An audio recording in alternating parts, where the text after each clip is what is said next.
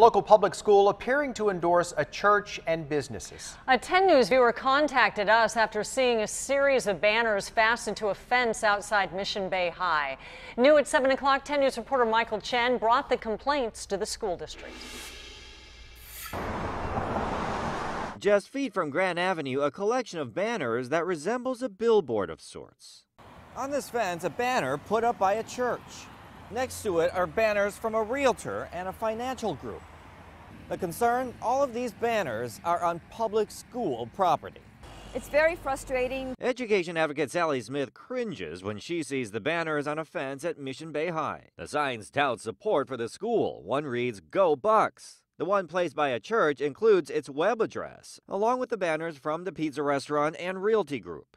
Smith says the banners send the message the school is issuing endorsements.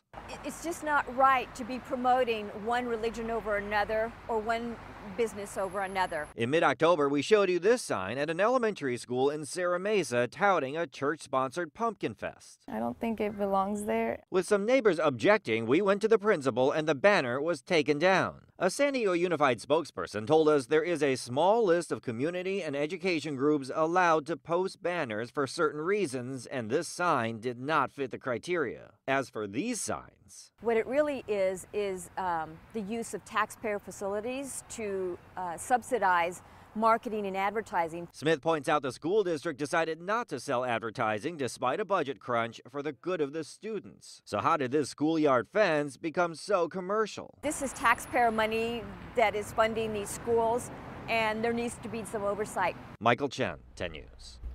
In a statement, San Diego Unified says the banners are allowed because they're defined as publicity advertising of foundations whose sole purpose is to raise money for specific district schools.